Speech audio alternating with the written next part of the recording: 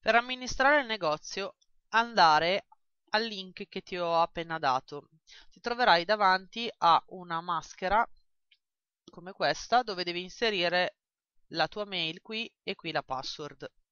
Una volta inserito clicca su entra e ignora questo messaggio accesso vietato che mm, praticamente va su parti di amministrazione di codici del negozio e puoi andare direttamente a vedere il catalogo, gli ordini, i clienti e le statistiche.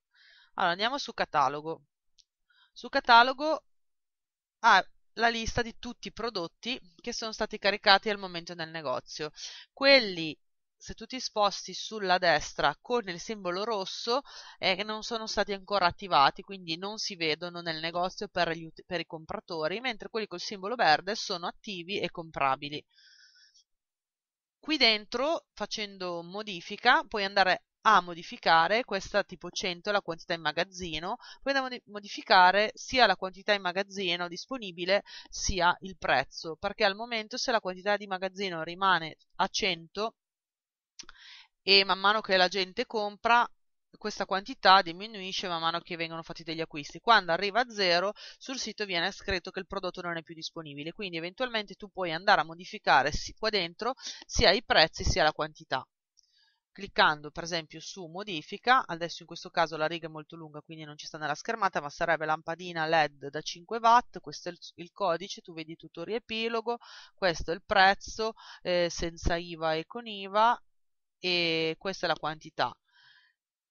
Se tu ci clicchi sopra ti si apre questa schermata dove ti dà un riepilogo di, del titolo eccetera. Per andare a modificare il prezzo è un, po', è un po' da cercare qua, c'è la, la, scheda nel momento che sei dentro la lampadina, quindi sei dentro modifica lampadina bulb LED 5 watt, vai sulla scheda prezzo e puoi andare a modificarlo, ti conviene andare a modificare quello IVAto, ma è lo stesso perché lui automaticamente se modifichi quello IVAto ti va a calcolare il costo senza IVA. Una volta che hai finito di modificare, basta che clicca su salva e rimani e ti rimane sempre nella scheda della, eh, della lampadina, se invece vuoi uscire completamente da, dalla modifica di questo prodotto fai solamente salva. Se vuoi modificare anche altre cose, per esempio le quantità, clicca salva e rimani.